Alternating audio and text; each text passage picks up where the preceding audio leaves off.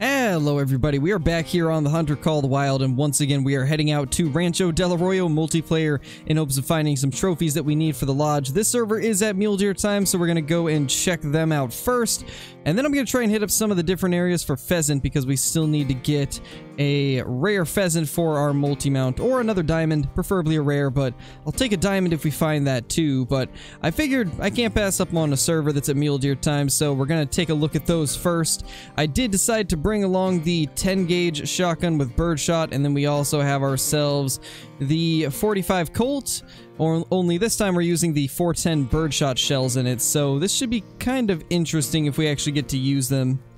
Oh my, oh my gosh, this herd. That is insane. This is absolutely amazing to see. There's a piebald right there. And then we also got ourselves an albino doe. Actually, that's another piebald doe. Never mind. But that's still crazy. This is why I've been really liking the mule deer hunting on Rancho. Almost every server that I've joined, I've had something like this. Uh, we're not going to take the doe because we don't really need it, but we will go ahead and take out that buck. Uh, it doesn't look like there's anything else over here, but this is one of the amazing things about fresh servers and why I just love hunting them. Almost anytime you get on a fresh server or a server from a brand new player, there's always stuff like this on their map and it's just so cool to see. Uh, let's try to get a shot on this guy. We're going to leave the doe for somebody else to take though because I'm not going to put it in my lodge anyway, so I might as well just let somebody else get it. But let's see if we can get this guy down once he raises his head. It might have been high, but I think we got him. Yeah, that definitely took him out. Uh, we're gonna let her go, and then I don't think there was anything else too notable. But that's pretty cool. That's a good way to start it out. First lake, and we find ourselves two piebalds. And I mean, that explains it right there. Level 17 host, along with Rancho being a map that just came out. I would I'd be willing to bet that this map has probably not been hunted that heavily, so we might be able to find some other good stuff here too, which makes me want to check for pheasants even more. But let's go ahead and grab this little guy right here. This is a little bit bigger than the last couple rare mule deer that I've got. Uh, we got a couple rares during one of the live streams like a week or two ago, if you guys remember that, but both of them were level 2s. This guy's at least a little bit bigger, and he's going to go into one of our secondary lodges, but that's a pretty solid buck right there. Definitely a good way to start things out. I'm going to real quickly let these guys know that there's a piebald doe here just so that one of them can get it. Well, that was unnecessary. Uh, I guess he doesn't want the piebald doe. well then. Oh, I am I am just conflicted and confused now, guys. I don't even know what to think. Ooh, this track is from a ochre javelina. And then we also have a turkey somewhere, but I'm more interested in that javelina than the turkey. There we go, there's our little ochre javelina. I gotta say, the ochre is probably my favorite of their fur types that isn't a rare. So we definitely want to try and get this down even though it's just a small one. I believe these are considered an uncommon, so they're not super easy to find, but they're also not super hard. Uh, if we could just get to an area where there's not a ton of trees, we could probably get this guy down, but I don't know how long that's gonna be. There, he is right there. If we can just get him to go sideways, we can just get him to go broadside, this should be doable. And that's a hit, but it was not a good one. This might be it for him. I don't know if we're going to be able to save it. Well, we most certainly hit him, and it definitely killed him, but the question is, did we get any vitals whatsoever? Well, it's not looking like it. I don't think we got vitals on either of those shots, but you guys can kind of see why I like these ochre fur type ones. They have kind of a like brownish tint compared to the majority of them, which are more blackish or gray. I definitely like the way these look, but it does appear to just be an uncommon, and we completely butchered both of those shots. That's unfortunate. Uh, we'll just temporarily save this little guy. Uh, let's just overwrite that because we don't need that one anymore. And then eventually, if we can't find a better one, we will just go with that. Well, you guys know I can't pass up on a 9 to 11 turkey with the chance of this being a diamond, so if we can, we'll try to take this guy out too. This is a long shot, and it's been a while since I've used the Hyperion for a super far shot, so we will see. That was way farther than I expected it to go. Um, good to know. There we go. Got him on the second shot, so at least we were able to make the adjustment and take him out. And his buddies right there, actually. Another 9 to 11 Gobbler. That one also has a chance, so hopefully between these two, one of them will end up making it. So this is the second one we ended up shooting, and I can't tell what plumage type this is, but I like the way it looks. I think this might be light brown. I know this is just a common, 4.40. That's a decent one. It's not as small as the 9-11s get, but it's not huge. Still decent, though. Alright, so this other one does have a light brown plumage type, which is my favorite of all of the different common plumage types, so I hope that this one ends up making it since the last one didn't, and it would be perfect because this is my favorite of their feather types for the commons. 4.50. Man, that was so close. Closer than the last one, but still not quite there. The beauty of this map still just never fails to amaze me. I am just so impressed with the way everything looks. It truly is a gorgeous map at all areas. And when you're at the evening time like we are right now, it's just even more beautiful. I absolutely love it. They did such a good job on this map, and we just got ourselves a warning call from a mule deer, but it does appear to be a small one, sadly. Oh, there we go. There's a little pheasant. Uh, took two shots to get it, but we did finally get a hit on it. Should die in no time.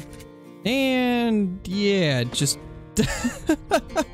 Oh my gosh, it dropped right on top of us. That's hilarious. Well then, I didn't expect that to happen, but we did get it from 52 meters away. The first pheasant I've seen in this whole time recording, so it's been a little slow, but we did finally find one.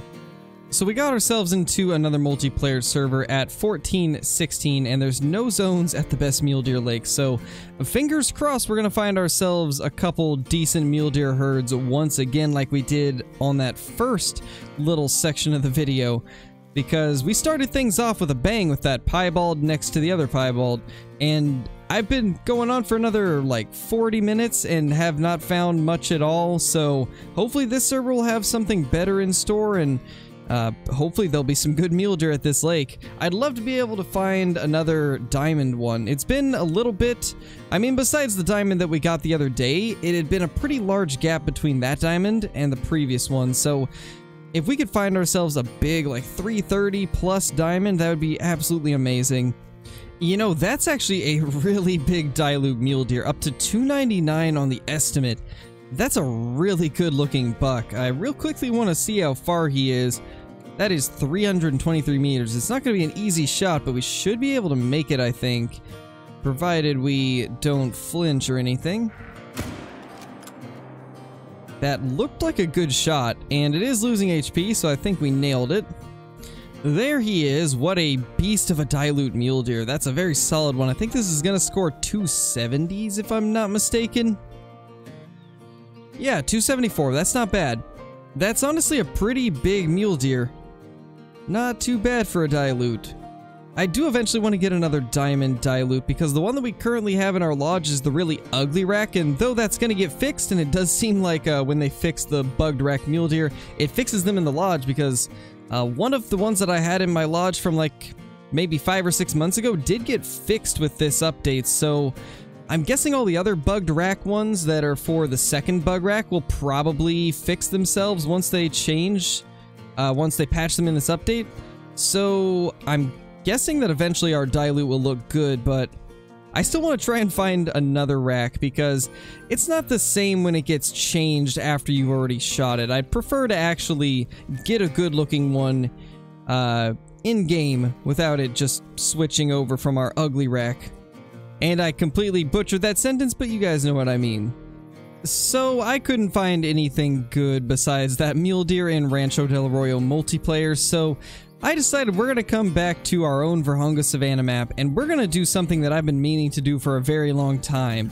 Because a viewer pointed something out to me in a previous video, And what they pointed out was the fact that when I spotted a max weight, max score Cape Buffalo that you guys saw in one of the previous Diamond with Every Gun videos, I don't remember which one it was, but it should be pretty easy to find. I think it's my most viewed Diamond with Every Gun video. But something that they pointed out was that the score estimates were different when I was spotting them, and that means that there should be two of them. We already killed one, but apparently there's another one on the map. So we're going to try and figure out if we can find him. He was at this zone, so I'm assuming that he still would be. So let's go ahead and fast forward the time to when they should be feeding here and we're gonna see if we can get him to come out. I've been meaning to come back and do this for a very long time, but just didn't have the chance to. And I will toss the comment up on screen for those of you that have not seen it, and I'm assuming most of you probably haven't, because it's been ages since I put that video out. But I figure we might as well see if he was right, because I haven't had a chance to come back here and check ever since then. I've been so busy with Rancho Del Arroyo content that I just have not been able to do much else but there is so many buffalo to go through. This could take a very long time. We have so many of them to spot, and my gosh, there is just so many Cape Buffalo. Ooh, oh, that's him right there. Yeah, that's him. So, there was indeed two. So, thank you so much to whoever pointed that out. Uh, I don't have the comment next to me right now, but uh, you guys will see it on screen. I never would have noticed that he was here if you hadn't pointed it out, because I don't hunt my own Vurhonga very often, and when I do, it's usually in the drink times, so I am very thankful that somebody noticed this, because this is an opportunity to add another awesome Cape Buffalo trophy to our lodge. Uh, provided we can make the shot, this is not going to be easy because he's tucked back behind everything. But I think we should be able to make that. How far away is it anyway? That is Wow, 325 meters. I think we can do this, though. I think we can. That's him. Let's just try to get him moving, if we can. Uh, yeah, that should do the trick. And hopefully he'll go broadside without anybody else crossing in front of him. I think that should be it. That should be a dead Cape Buffalo. And he is losing health finally.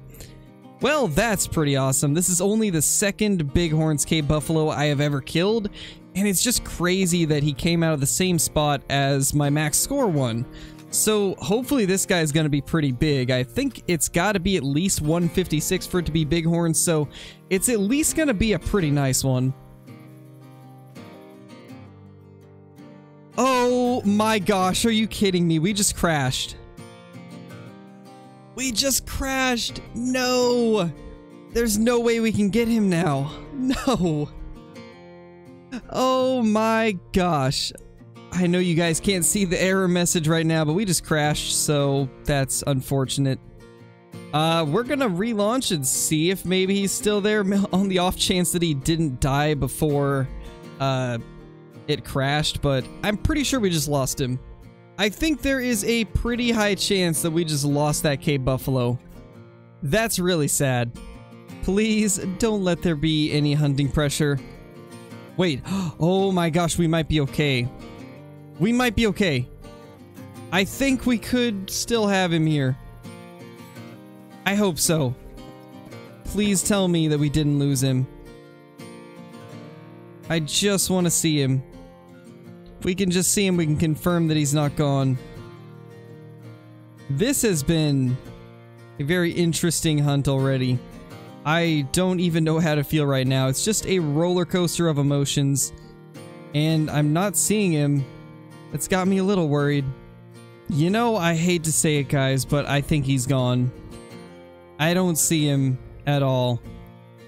I think it counted as him dying, so that's really unfortunate. I was hoping he might have still had a little health while I crashed, but looks like he'd already died, so...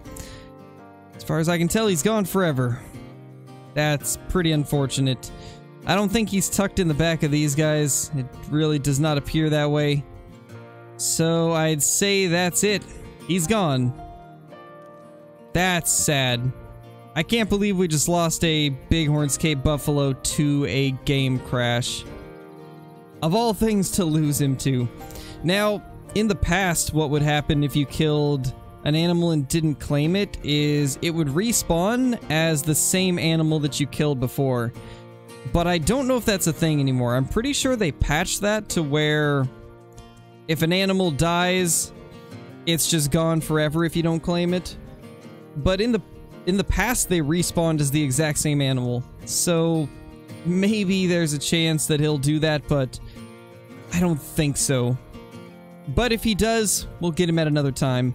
Well, there is the piebald mule deer that we ended up getting, and that's sadly the only thing we have to show off in the lodge today because that Cape Buffalo just vanished on us after a crash, so there's not really anything we can do about it, sadly, but I mean, we still got this guy, which isn't bad.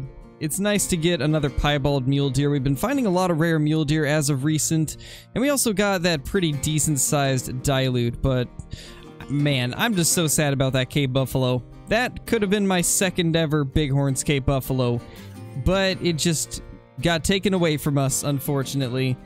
But it is what it is, things happen. Can't really control it, and we will find another one eventually. If you guys enjoyed, be sure to subscribe, click the like button, and ring that notification bell so that you guys will never miss a video. Also, be sure to comment down below with uh, what you enjoyed about this video the most, uh, or Actually, let me know what's happened to you guys in the past when it comes to losing trophies, because it's happened to all of us. Let me know the most painful story that you guys have of losing a trophy, because I'm really curious. This guy right here was one of the worst ones that I've had just disappear on me. And I'm sure that you guys probably have some similar experiences, so let me know down in the comments what your worst loss was in Call of the Wild. But until next time guys, thank you for watching, and I will see you all in the next video. Peace!